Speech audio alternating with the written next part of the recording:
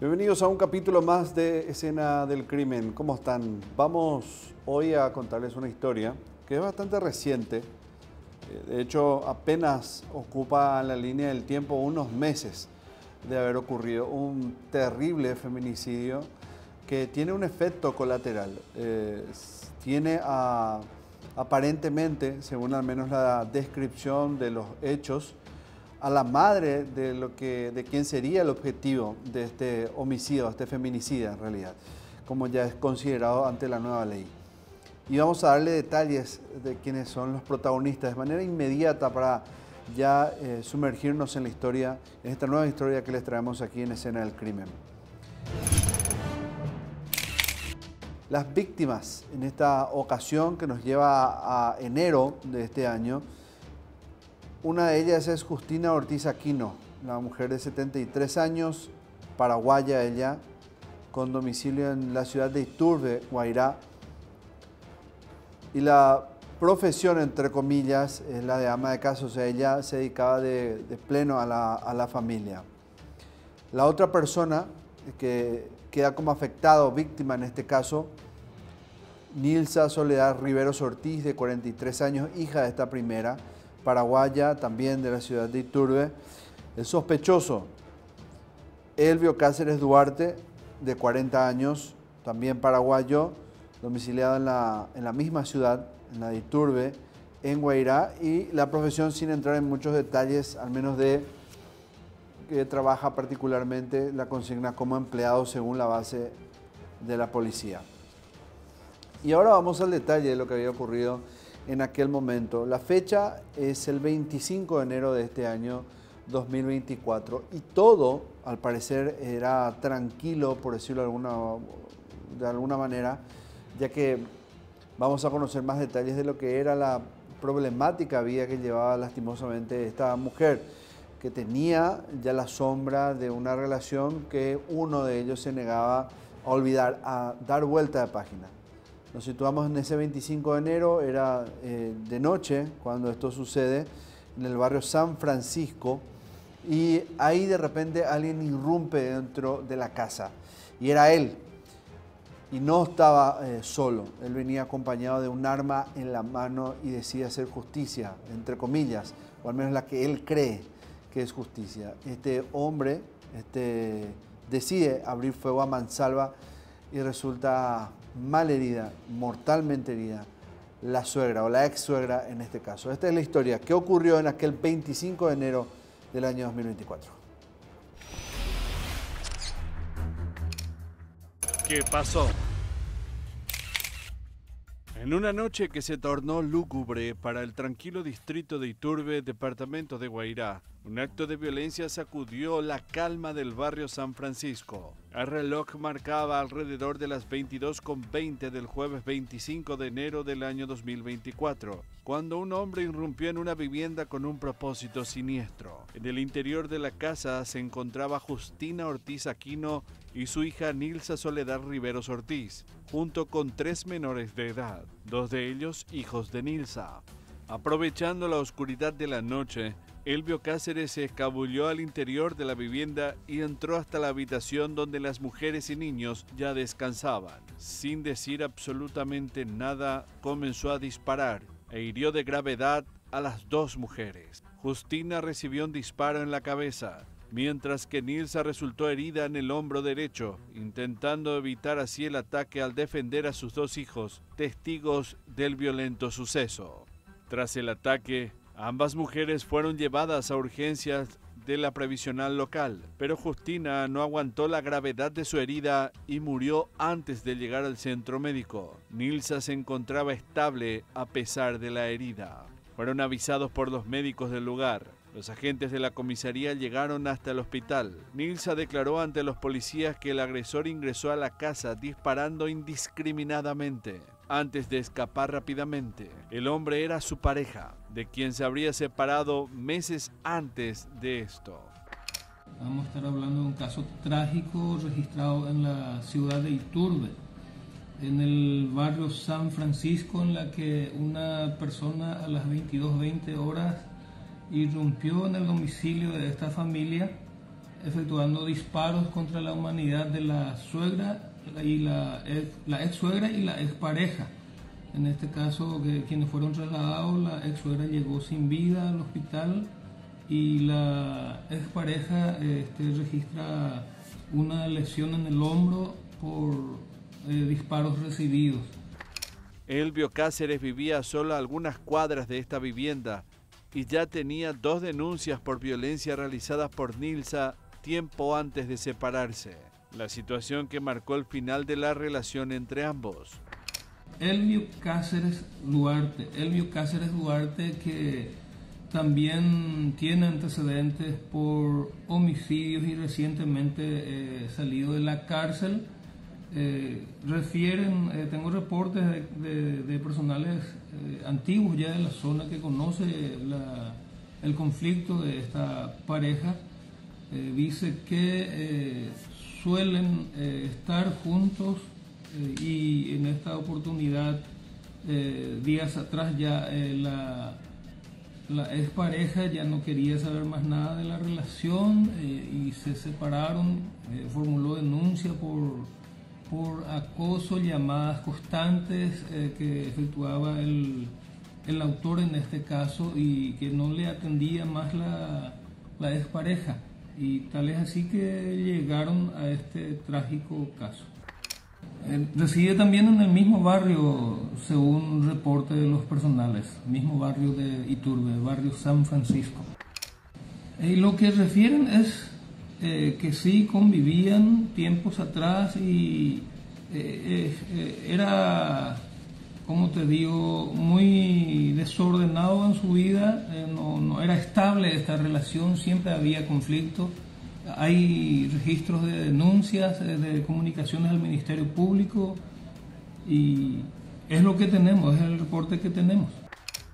Luego de tomar la declaración de Nilsa, los efectivos fueron hasta la escena del crimen, donde todavía estaban los tres niños, ya al cuidado de un tío, Teófilo Riveros. Los agentes del Ministerio Público, un médico forense y agentes de criminalística fueron informados y empezaron las tareas de investigación en el caso para esclarecer los motivos detrás del trágico suceso. Sí, la, legalmente hay cosas se hermanan 150 metros. Joga, cupé tipo, roba en frente de hacer joga, cupé digo. Mm. Al peyo use el aviso.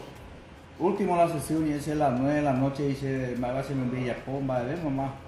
Ah, dice, bueno, con el Yuya Caru, a ver, bueno, mamá, pei, ojo la noticia, las 10 y media de la noche, dice ese sobrino, vení que, vení que tío, dice, ¿qué será? Dice, parece que mi abuela murió, dice, ahora ahí parase, ajá, ajá, ahí para, o dice la dice la ajá, topar la hermana sangreado, dice, o manó la mamá, dice, ah, eso no puede ser, hermana, eso jamás. Él vio sarambío ya pues se dice yo ya puse ese también. Ah, yo oí, ya lo ya puta que viste que esta vez se va a amenazar a las hermanas.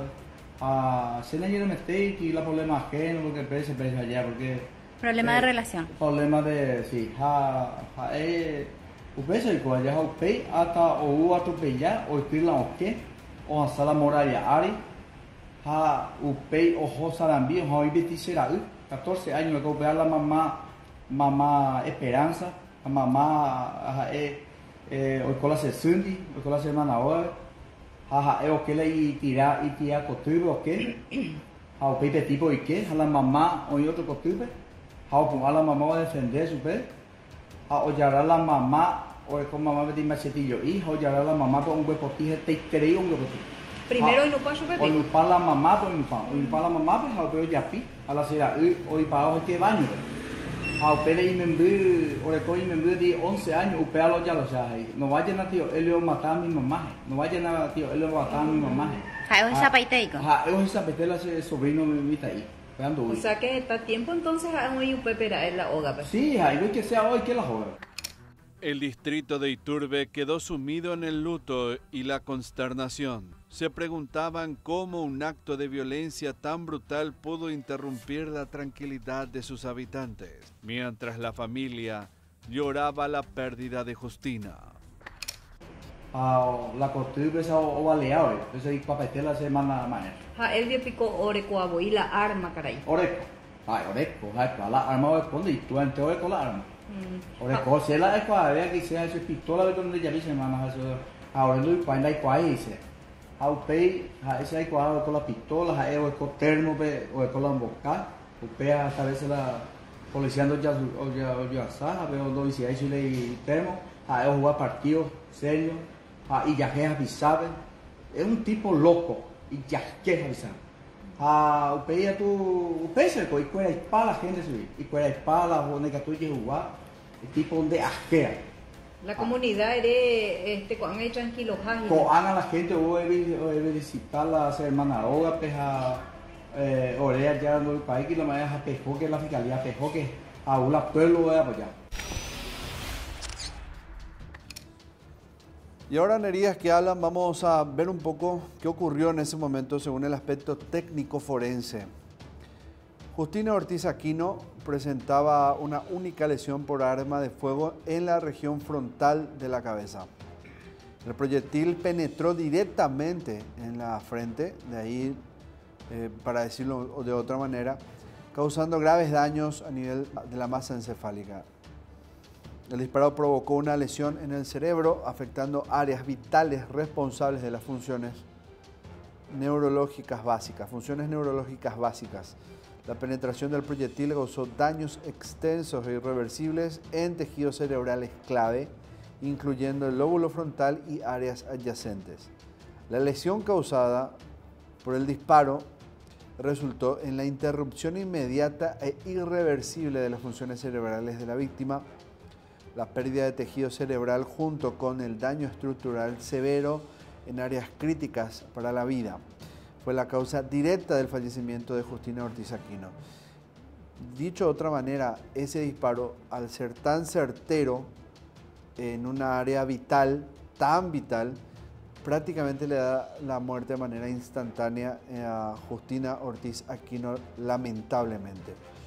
El médico forense Continúa diciendo esto, el doctor David Martínez diagnosticó como causa de muerte de Justina Ortiz como traumatismo de cráneo producido por disparo de arma de fuego. La muerte de la víctima ocurrió en cuestión de minutos mientras era trasladada al hospital de IPS local. O sea, las funciones cerebrales al menos eh, se dieron, o la disfunción en este caso se dio de manera instantánea tras el disparo. Y hablemos ahora de la sobreviviente, que en este caso es la hija que se presume, según los hechos sucedidos, que era el verdadero objetivo de Elvio. Al resistirse él de terminar la relación, que ya les vamos a contar que había detrás de todo eso, decide atacar a esa familia y se presume que el ataque iba a generar daños colaterales. Podría ser una presunción en la hipótesis B, o en la hipótesis A, que Nilsa era el objetivo, el único objetivo de este hombre. De todas maneras, su motivación era matar, quería matarla a ella. Y resulta que ella al resistirse, al luchar por su vida, al ver a su madre caída, herida, tenía a sus dos hijos aún en la casa, a sus hijos en la casa. Entonces eso generó un estado natural de supervivencia, luchar por su vida. Tenemos su testimonio y esto es lo que ella relató. La sobreviviente. En medio de la tragedia que sacudió al distrito de Iturbe, un rayo de esperanza emergió entre las sombras, encarnado en la valentía y fortaleza de Nilda Soledad Riveros Ortiz. La mujer no solo sobrevivió al brutal ataque perpetrado por su expareja, Elvio Cáceres Duarte, sino que se convirtió en un testimonio vital de los eventos que desencadenaron en la tragedia. Y la verdad que no sé, ahora en este momento, no sé de dónde estoy sacando esa fuerza para hablar, pero lo único que pido es que se haga justicia. Durante el enfrentamiento con su agresor, Nilsa se vio obligada a librar una lucha desesperada por su vida y la de sus hijos. En medio de ese forcejeo, recibió un disparo que le arrebató prácticamente uno de sus dedos, atravesando luego su hombro derecho y escapando cerca de su homóplato. Una de las heridas que tiene la, víctima, la tentativa de feminicidio es en el dedo y ella ella lo primero que me refirió era que ella había forcejeado con él para que no le dispare y ella eh, prácticamente está perdiendo el dedo porque tiene lo que tiene que hacer es someterse a una cirugía, me estaba comentando que es someterse a una cirugía en Asunción porque tiene que conseguir el hueso. Ella prácticamente perdió este dedo. Y seguramente que no hace forcejeo, no sé si le habrá salpicado también a él, pero ella perdió este, este dedo. Ella llegó en el hospital con el dedo colgado. Ojalá que Dios quiera que salve mi dedo, que tengo que operarme, me voy a necesitar platino, voy a ver, ojalá que Dios quiera, que todo me salga bien, en el nombre del Señor. A pesar de las heridas, con su determinación, Nilsa no se dejó vencer y logró proteger a sus hijos de un destino aún más trágico. Tras el ataque, Nilsa se recuperó físicamente y con coraje admirable se presentó ante el Ministerio Público para brindar un testimonio detallado de la tormentosa relación que había mantenido con Elvio Cáceres Duarte. ¿Y vos seguías escribiendo con él? No. Él siempre me mensajeaba, él siempre me, me llamaba. Y si yo no le contesto, él me manda a la mierda. Y tiene su novia ¿Por qué no le bloqueabas, Nilsa? ¿Por qué no le bloqueabas? Le bloqueé y me llama de otro número y me dijo de bloquearme porque ha estado yucandero gaitete. Y así me tenía amenazado. Rojoba ota machete, cuñane licenciada tabú. Así me tenía. Y yo tenía temor de él, terror de él. ¿Vos le enviaste una foto de esa noche? Esa noche yo le envié, pues estábamos en el centro de salud. Porque yo me fui en el centro de salud con mi mamá le llevé a una mi vecina. Y después él empezó, acá yo tengo todos los videollamadas que me hacía y yo no le atendía. ¿Y le enviaste ahí una foto? Ahí le envié porque vos sabés todas las horas, todas las horas, todas las horas, me mensajeaba, me mensajeaba, me llamaba, así me andaba.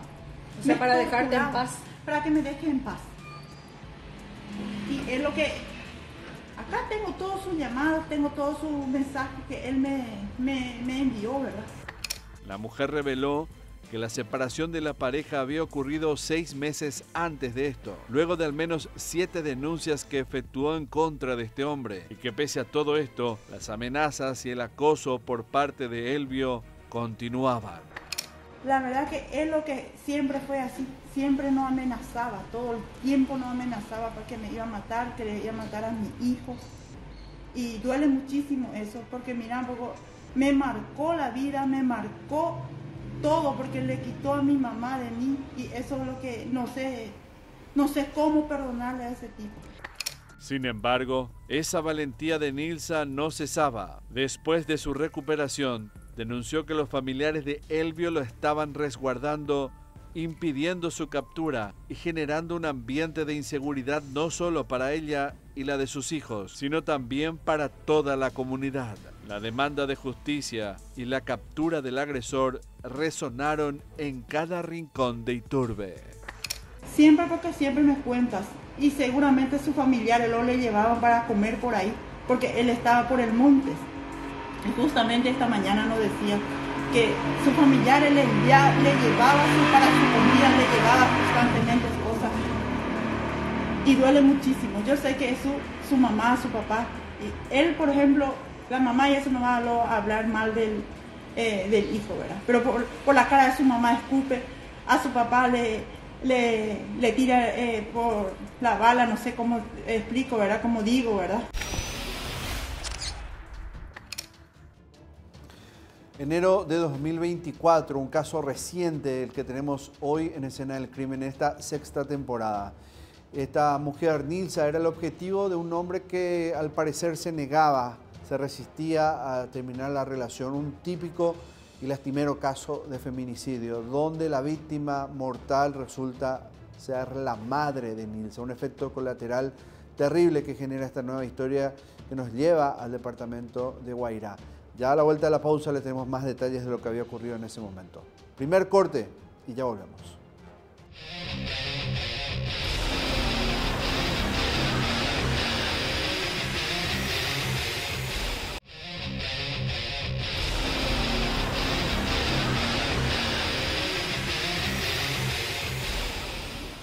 Ciudad de Iturbe, una noche terrible, eran pasadas las 22 horas, cuando un hombre de 40 años, Elvio, decide atacar a balazos la casa de su expareja.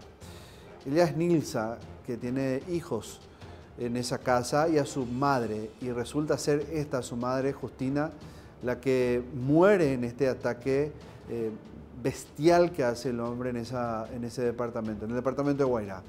Esto eh, ocurrió hace muy poco, porque como les decía, fue apenas el 25 de enero del año 2024 cuando esto sucedía. Uno de los tantos casos más, si no el primero, de este año, pero en el número global es parte de las 265 causas, o casos, mejor dicho, casos de feminicidio que tenemos desde el año 2016 hasta la fecha misma, hasta lo que va de marzo. Este caso tiene a una sobreviviente que es Nilsa, que ya escuchábamos su relato, y tiene una insólita declaración, que es otra expareja de Elvio. Una mujer que compartió relación amorosa con él antes de la llegada de Nilsa a la vida de este hombre.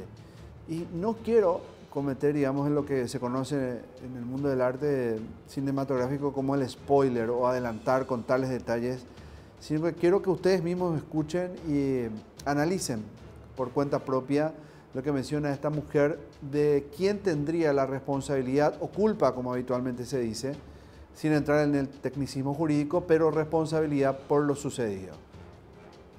Responsabilidad de quién es la muerte de Justina. Escuchen.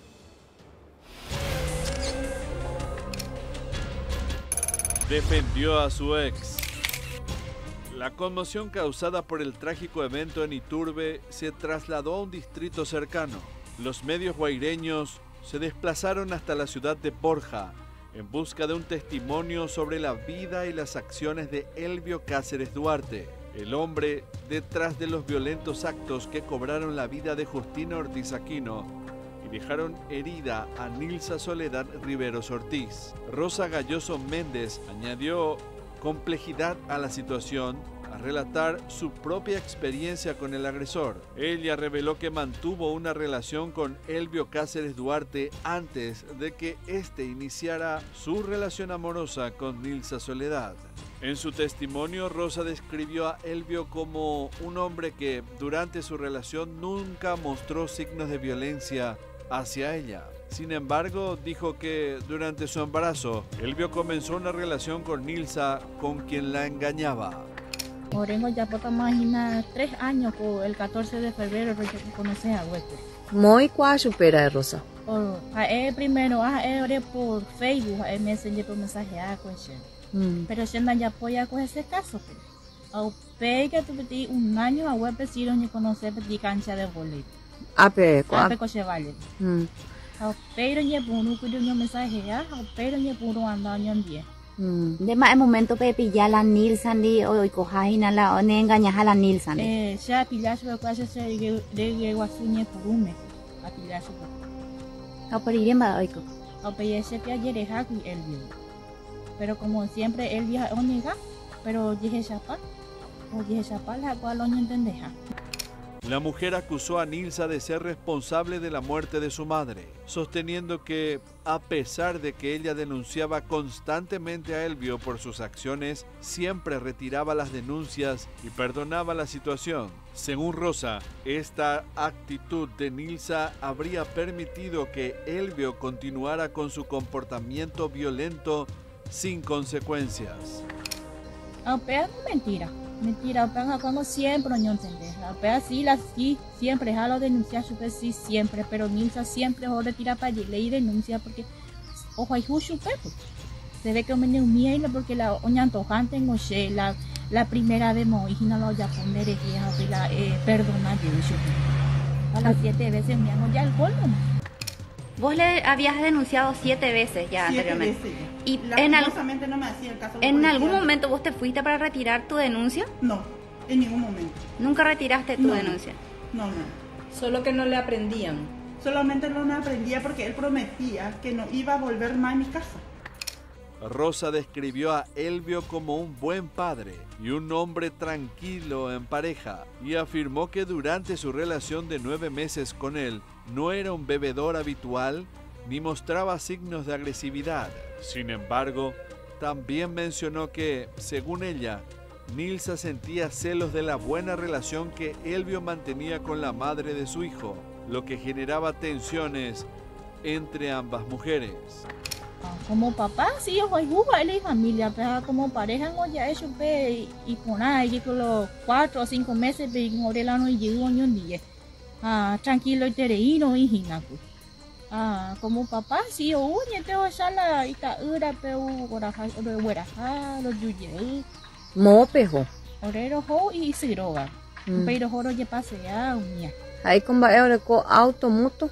Autos a motos, oreko. Oreko los dos. Sí, los dos. Mm, a los dos PPP pase allí. Sí, los dos. En familia pese. como en familia porque si oín o eso pues ah, o aceptas es como que lo reco- como pareja como familia o sea ya pues pero yo de guainil sama eres para la eje y la obrero ya pues ha chupe la pasada Ah, pero tengo un baby mandero a sala ro juan mala y turbe pero juan mala eh, la el bioroga pero a eje y como que obrero ya pues ha chupe pasada Que a Pero, propósito, que ya poja. que a propósito, pero es mentira porque hoy cuando puna la se le hiciste abuela, se se me embuja abuela subir, ah igual te año te tenía, Ja épico oka umimia, umia pecha umimia la bebida. ah pues moje y pues ya no la hacen durante que la hacen y allá na tanto oka u oka una buena hania pues. Mm. Vos tiempo la pe festejavo y la como novio umia pecha. Año mucho pues de cuatro a cinco meses. Mm. Haupe eh, yundere de guasu shuwe. No, o tengo nueve meses a web año a web en día yo la llegué guaso. Mm. Nueve meses a web. O pediré pellereja. O lo llegué me cambiamos en día o pedir. Mm. Ja teku ella no no y se veían en día. ni tampoco la mitad. Haupe rire yundere ka. Sí, Vos haupe- tiempo O yeun. uja, eh, tres o cuatro meses se a su uja. Oye. Nilsa, ¿algún, mom- algún momento Nilsa Nandereca y Oña Juan Andive? No, Nunca la peñé ella personalmente. Se, se la una vez la a mensajear pues supe que entre años no supe ese número pues otro pues para acá tuvo que hackear o hice que la a cambiar. Para veces la mensajear pues supe la eso pero para ya se me muriría de un. Va eres Nilsa. A eso pues la el yo se le caí. Mm. A su padre, niña, su padre, de repente caminan a mi novio. E dice, yo no tengo nada con él, e. Se ve que él Dios te quiere, por eso nomás te busca, e dice. Mm. A pesar de mi sanidad, no la negativa, yo de cuapán, ojas. De pico de uy de compartir pecha la cerveza mía mía. En día. Sí, esta vez lo compartí, pero nunca la boca huetean más, ya se la más. Ni nada de maltratada. Madre de. La celoso ya ven, va, eh, por ejemplo, la icatuaje inde la ibaía. Va, eh, A él le dice el oso llave, la se la niña llave subía ahí. Le dice, vos sos un niño celoso, O si Mm. no se nada una vez, hijo, si hay niño celoso, Amba es es- y se ande mere como otro na shere huyo y y y se ande con de aquel te yo y ya tengo pela ne catuña y tranquilo dice Contó que ella sabía que su expareja era ex convicto, que él mismo le contó sobre esa parte de su vida, pero que pese a los nueve años que estuvo preso no mostraba señales de ser un homicida. Hamba, e e pensaco a cosa rosa pe oikoa eh, porque iba ingola he ipe que oja e oja iko hi arma bo indepio e shao mía rosa. se la única la y arma la ya con 22 y lo recuapo Siempre recoja upea. sí siempre Amanaja ore kowa upea. Como resguardo eh Mm. O sea que Ahí cubar cuánto antecedentes, Nis? Eh, eh, él yo sí, él yo yo. recoja el asunción va eres. por homicidio y eh, y después se la carcelero fue la roñe puta bueno la había yo eso pues va a ver ya como que la y pinta la él la cachafá ni más ver ni zafado ni más ver si pinta y recto y tereino él la opea opea yo la hace la De ir de más pepa los yuca. eh, y después se peti caria upe se dice lo yuca amba ere oyukane supera. amanicia fue o jape Mm. Jaiko o jugar o o gusta super la juego. sí upe baraja niña pesa piticuera partido niña los pasos Dumi pila ojo. Mm. Amba tiempo en la cárcel. nueve años yo Nueve años. Amba tiempo cena. opea ya me cuape Tipo será muy lento jau hago Sí, todo lado.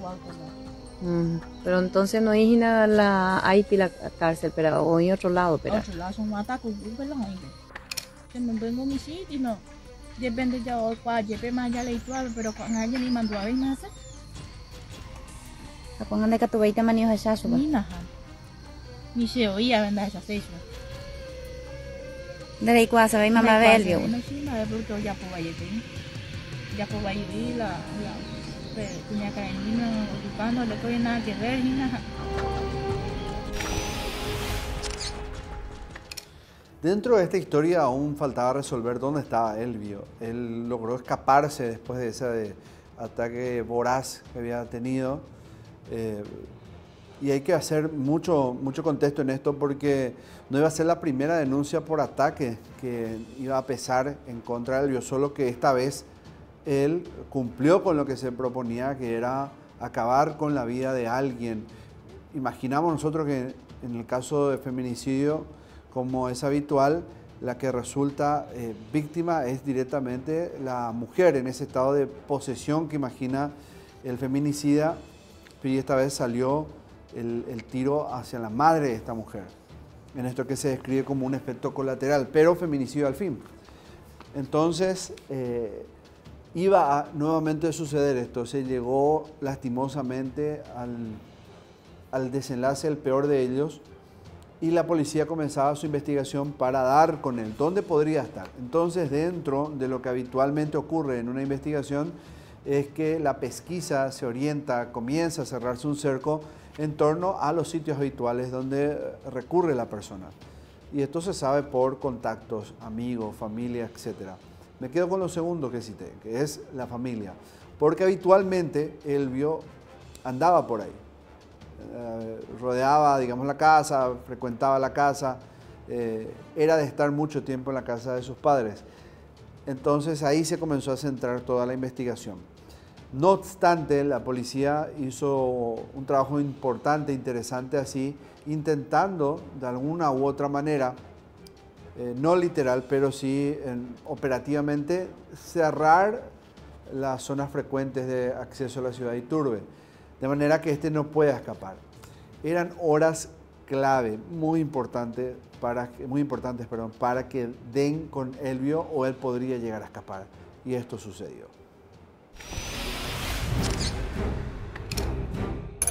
La investigación. Elvio Cáceres Duarte tras cometer el atroz crimen que acabó con la vida de Justina Ortiz Aquino y dejó gravemente herida a Nilsa Soledad Riveros Ortiz, emprendió una huida frenética en un intento de eludir a las autoridades.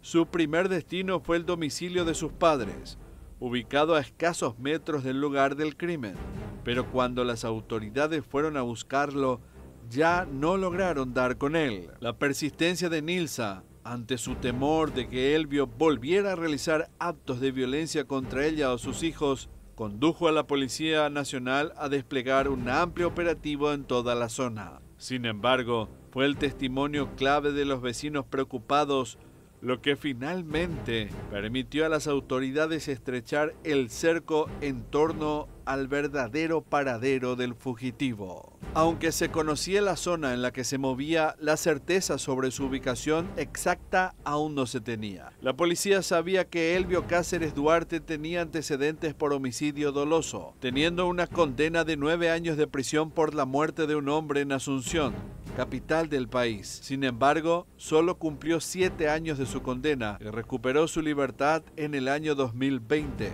regresando a la zona de Guairá, de donde era oriundo.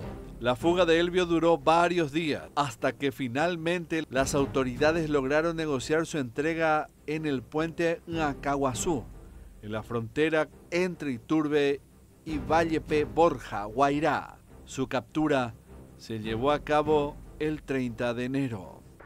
Que él está encontrado en su casa era la información del pueblo y nosotros solicitamos el allanamiento y nos fuimos. Pero eh, anoche conversamos con el papá y conversamos con la mamá. Entonces ellos nos habían dado la información de que eh, supuestamente dijeron que no sabían, pero fueron ellos lo que ahora contaron, porque conversamos bien con ella y al final eh, quería que se, que se, someta al proceso su ellos fueron los que prácticamente contaron dónde estaba escondido Reiterar nuestra, nuestro pesar como institución para con la familia enlutada eh, sobre aquel trágico eh, hecho. Efectivamente, eh, luego del hecho hemos tenido una reacción inmediata para, porque lo que nos restaba era ya nada más dar con, con el autor en este caso. Se implementó operativos pero inmediatos para la cobertura en toda el área, más, por qué no decirlo, a nivel país, por la captura impartida. Estaba cubierto totalmente el área, manejábamos eh, medianamente y con seguridad en algunos casos eh, por personales de apoyo que estaban en el lugar.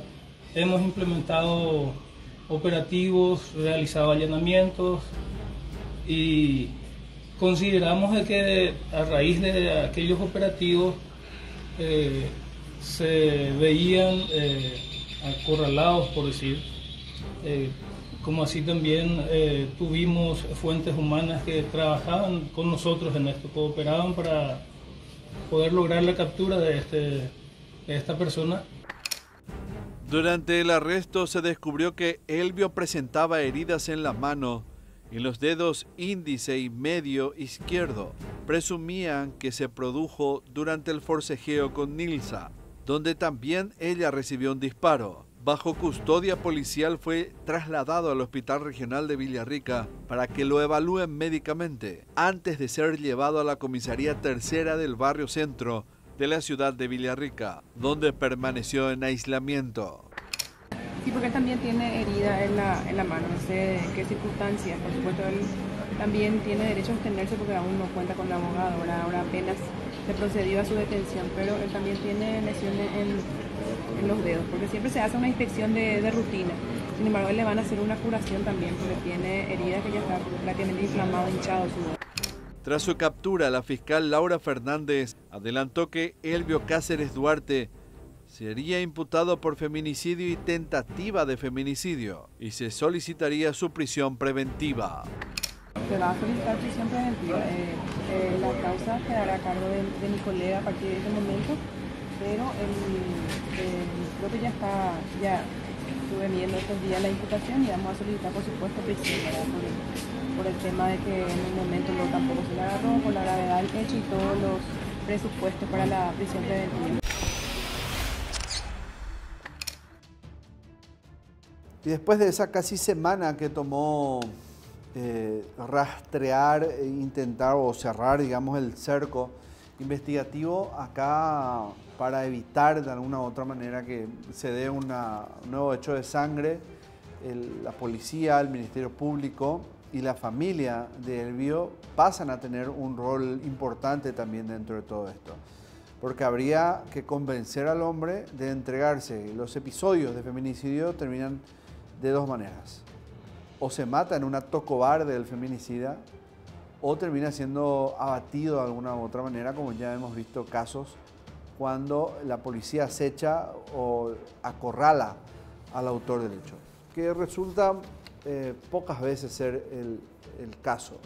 También, evidentemente, hay situaciones de aprehensión, de detención, y esto es lo que desembocaría, pero primeramente, con esto desembocaría, pero primeramente sucedería algo que también se agrega a un episodio interesante en esta historia, que es el rol que tuvo la madre de Elvio en todo esto. Vean.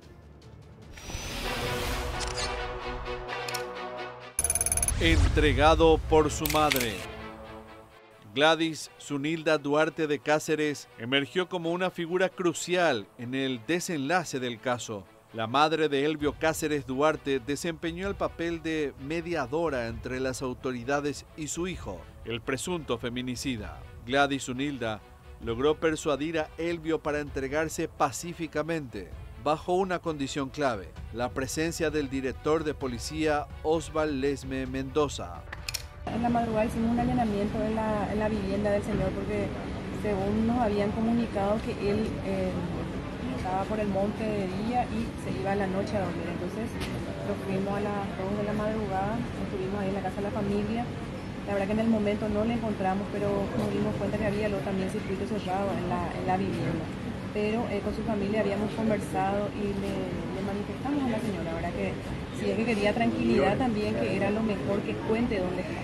Porque de hecho que es evidente que una madre no va a querer entregar a su hijo, sin embargo, eh, contaron porque también ya nos decía que estaba en la zona de Irak, ya eh, manejó esa información a la noche, pero como a la noche tampoco podíamos conseguir otro allanamiento de ese lugar, entonces esta mañana eh, la policía, gracias al jefe luego también que estaba al mando prácticamente de, este procedimiento, se, se logró capturar al, al señor. La madre de Elvio se comunicó por teléfono con la Policía Nacional, asegurando que su hijo se entregaría sin resistirse, pero únicamente en la presencia del director de policía del Guairá, el comisario principal Osval Lesme, para garantizar así su integridad física.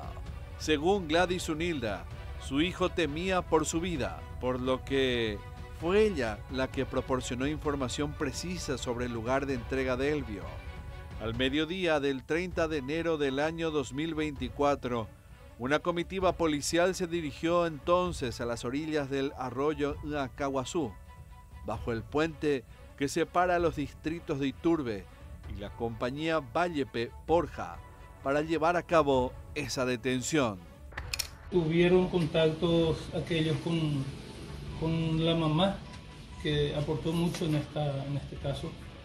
Conversó con su hijo eh, y lo convencieron para su entrega y tuvimos co- comunicación gracias a elementos, eh, como dije, que estaban también en la zona trabajando en esto y contactando con los familiares. ¿Cómo se llevó a su detención? Gracias, eh, reitero, a la mamá que se comunicó con el director de policía y se organizó para el, el encuentro, su entrega para con el director. Eh, fue a la altura del puente de acá, eh, que se encuentra no distante ahí de la ciudad. Ahí fue el encuentro, la entrega de este sujeto, su traslado inmediato al, al hospital para ser atendido y ahora es la hora en que están viendo ya a disposición de, la justicia. Familiares entonces, comisario, lo entregaron a Elvio. Encabezado por la mamá. Es un trabajo exitoso entonces de la Policía Nacional en un caso muy eh, que llegó a conmocionar a todo un país prácticamente. A pesar del lamentable hecho, consideramos sí por el resultado de haber llegado a su aprehensión y ponerlo a disposición de la justicia. Nilsa Ortiz, quien también resultó herida durante el trágico episodio, expresó su alivio por la detención de su pareja. La mujer reveló que vivía constantemente amenazada por Elvio y que, tras el asesinato de su madre, vivía en constante zozobra, temiendo por su propia vida y la de sus hijos. Soy APDI, la USDI, porque vos sabés que me siento muy bien ahora porque se está haciendo justicia. Porque yo estaba teniendo temor de ese tipo, si volviera a mi casa me mataba a mí, a mis hijos. Y creo que mi mamá mi- miró de allá de arriba y se le agarró a ese tipo, se- porque nosotros estábamos tan inseguras en casa todos los días. Tene- tenemos que eh, mirar de aquí para allá, Gina, porque si vuelve otra vez, teníamos miedo que nos mate de eso, porque ya es capaz matarle a mi mamá y puede ser que me mate a mí, a mis hijos, a mis hermanos. Me siento conforme y me voy a sentir más confo- conforme para que se quede y que se pudre en la cárcel, porque no voy a dejar impune que mi mamá esté ahí, en la tumba, y yo como ya quedarme en brazos cruzados. Hasta este momento, después de seis días de investigación, de persecución, dieron ya con Elvio la, el rol que tuvo la mamá como negociadora, por decirlo así, convenciendo al hijo, dio sus frutos y él ya estaba en manos de la justicia. Sin embargo, el dolor por la pérdida de Justina, la mamá de, Nilsa, continuaba en la, en la zona, en toda la ciudad de Iturbe, y no cerraba mucho el hecho o el solo hecho de que él esté detenido. Ellos querían realmente una resolución rápida por parte de la justicia. ¿Qué pasaría con él finalmente? o en qué etapa está esta investigación. Vamos a saberlo a la vuelta de la última pausa aquí en Escena del Crimen.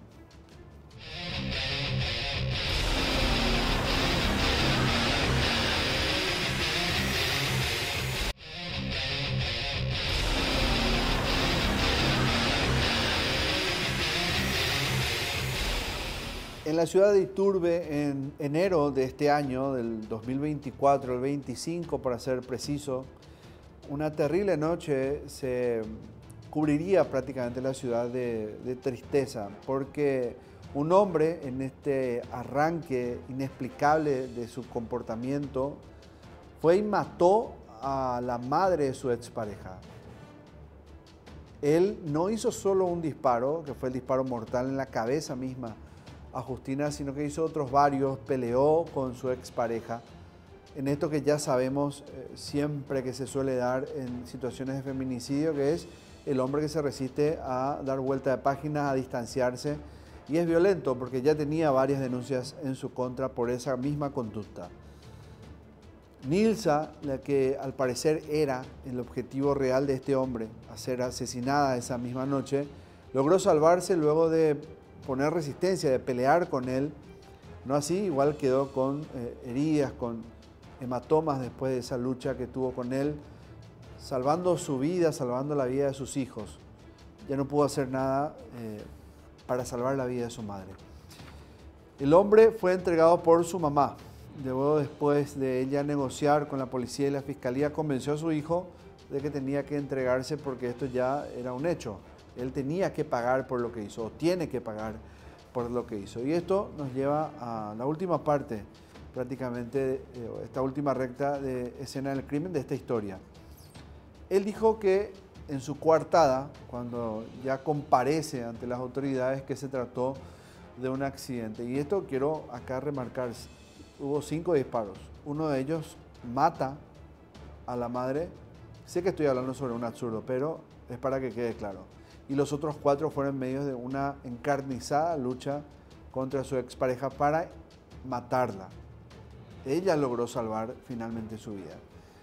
Esta es la coartada que da finalmente Elvio a los investigadores.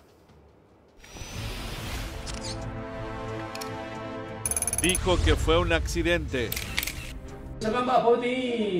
Y pariente y prima. Allá por eso tem costeio, allá por eso venho que já me entendi, que ahora hace plata, minha eu la plata maneja pala y y prima plata. Ba he inde upe pu hare pe ho ngwa ba he inde. Ah, ngwa ha ha. Upe ko to mensaje allí se ve que ya la se ayuda más no no se ve ayuda a yo topamos dice la ok ayuda hay que ha hay que la costeio. Ok. Hay que la costeio o o sonar ese teléfono a upe va ya hablar que pido con esa arma, ya. Pero peco antes pereco relación la No lo coche año relación no, con No pe pujare pe pe pe yo habi un hinara antes No no no no no no no anda hani hoy. Haniri. Ha, o voy que allá ha hola ese teléfono sonaba ya. Directo entonces eh, hoy copia eh, si listo. Lo o ya la se arma ahí se te joyente ahí porque mamá hoy.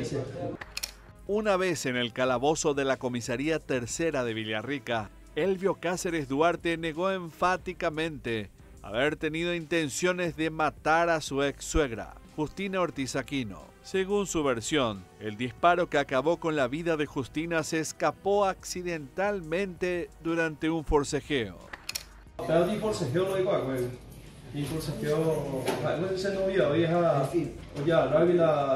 la topa kama mo ese teléfono eh o se tiene saque pues ha pola ese teléfono o que me dice que pidió pero se buscando vaya. Ah. Ah o puede ser a eso ve marico ya la buscando los teléfonos la manera se dice no un de que yo ya puedo hacer algo me tengo que hacer ya hasta buscar de hacer ya a marico pues ahí botar yo entonces nada la eh veis ni me ha estado sin eso siya akakuat tayo igi. Hae con el no el. Ha ese no ha ando pesan de ise ha ba handa mai ke jibi porque ando botai isu ni na i member kari ando botai igual onde igual otro más persona vaya. O pedazo na anda anda mai la na mi será. Pero aguetende ya. Akakuat tayo ise ha o pega to rollo cosa que haya rollo que haya sube un muy pe muy bala hacho y la arma hacho e poi subía yo yo sé que ha ve y la un tiro vai chagualan de arma 765 Ah, mas momento pues que la hizo. Ah, o pega tu e pude lá do dia eu sei que ha venia ha pego José Hequila wala ise pa sei que hace subir la arma a ver que se cuando cuando la cuando la vez la ro que se de ya la yo José que ya ha cuando la a pichi José. De con en esa huma upepe de igual más para disparar de pa oa eh. De igual, ven mi va por igual, porque ha o poco la se arma. Eh. Pero y Catu ahí es medio disparápico. Y Catu, sí, sí, la un puñado, creo que la se arma. Se va a a upinte más subir ya, ahora subir ya, e poi subir, eso porque va cuando poi sei sui hebe. Porque de me vamos a pita aí, seja. Ande pico esa la coña cara dijo anware el vio. No se anda esa mi va. De disparamos pe anware. Da anda esa mi se hace yo va ya a disparamos ahora y se la dos mitad la esa creo que no iba a ver la y me quería ir a ese entre mi sobrino. Ande que no paso pe Nil se pegando en huepotillo pero No, en ningún momento, en ningún momento rendo do yo más. Howard corrida en eh Iñacame. No daré coice daré coice por yo por sé que ya, ahora yo por sé que año dio. A pesar de su declaración, el arma utilizada en el crimen no fue encontrada en su poder. Elvio afirmó haber utilizado un arma calibre 7.65. Sin embargo, las autoridades manejaban la información de que se trataba de un arma calibre 32, basándose en los proyectiles recuperados del cuerpo de la víctima y las vainas servidas encontradas en la escena del crimen. A la foto nas ahí joga. No de cuál, no Gracias, Elvio. Entonces, de ella cree, eh, eres de inocente, Jaya. Ah, claro, porque la se tiene forcejeo y coa tiene accidente, Accidente. ya pe caso, porque en ningún momento no pensáis la ponga con las cosas. Jaña arrepentico, Elvio. Ningún momento porque no hay coyo, que la arrepentida la porque sentas ahí, ya ahí la ya pon la cosa. Eh, no se encontró el arma lastimosamente, ¿verdad? Porque el, el calibre de que, que, que la señora que recibió en la cabeza que habíamos sacado el, el viernes, el calibre era 32. Y también en el lugar del hecho era calibre 32 lo que encontramos las casquillas. Todos fueron levantados del lugar del hecho. Doctora, ¿qué dice La él? la extracción de la bala fue calibre 32. Sin embargo, él dice que se le cayó en el arroyo, en Pero, el río. pero él dice que fue autor de ese asesinato. No. Él niega. Nunca hay nadie que reconozca. Claro, pero niega su participación. Niega y tipo trata de decir que era tipo, una discusión de pareja, ese tipo de cosas. Pero eso por supuesto que es lo normal, lo habitual en este tipo de hechos. Lo primero que le pregunté fue si estaba consumiendo y dijo que sí, estaba consumiendo bebida alcohólica. No, le pregunté también drogas, y, pero dijo que no. Pero, O sea, anoche estaba consumiendo él. No, no, no. Ese El día, el día. Supuestamente ella le convocó en su casa, ese tipo de cosas, lastimosamente que también le pregunté por su teléfono y dijo que también se perdió en el río con, junto con la pistola, junto con el arma, ¿verdad? Me contaron que negó, me negó. Pero, ¿quién va a entrar en mi casa? Porque yo le vi, él no nos sacó de la punta de la pistola para abrirle el portón. ¿Para qué negó? Él dijo que estaba contigo, que estaba en la pieza y que vos encontraste su celular y también el arma debajo de la almohada. ¿Qué hay de cierto eso, Nilsa? En ningún momento, es mentira. Él entró a patada, abrió la puerta, con tiro ya, negó el tipo. Es un sinvergüenzo, cínico lo que es. Porque eso no se hace. ¿Por qué no se fue a pegarme nomás? ¿Por qué Pico le valió a mi mamá? ¿Por qué le quitó la vida a mi mamá? Y eso nunca le voy a perdonar. Y voy a luchar para que esté en la cárcel, para que se pudra en la cárcel y que sepa su familia, que sepa sus familiares. A mí no me interesa. El detenido alegó haber desechado tanto su celular como el arma homicida arrojándolos al río. Aunque hasta el momento no se han recuperado estos elementos, la discrepancia en cuanto al calibre del arma y la falta de evidencia física complicaron la reconstrucción de los eventos que llevaron a la muerte de Justina Ortiz Aquino. Las autoridades continúan con la investigación para esclarecer estos hechos. El criminal se encuentra recluido actualmente en la cárcel regional de Villarrica. Finalmente, Elvio afirma haber utilizado un arma de calibre 7.65 y con eso prácticamente se configura que hubo un ataque eh, violento sanguinario en ese sitio. Ahí no hay demasiadas vueltas que darle. Se entiende que hubo una relación en su momento y aunque haya un efecto colateral, en este caso, lastimosamente, el Ministerio Público va a tener otro desenlace que ya van a ver de qué se trata. Y con esto ponemos punto final a la historia, a esta historia de escena del crimen. Punto final del programa, no así de este proceso que debería llamar a una reflexión de otras autoridades evaluando el trabajo que hizo la Fiscalía.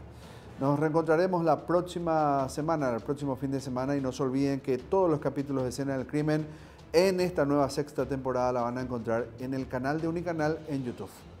Adiós.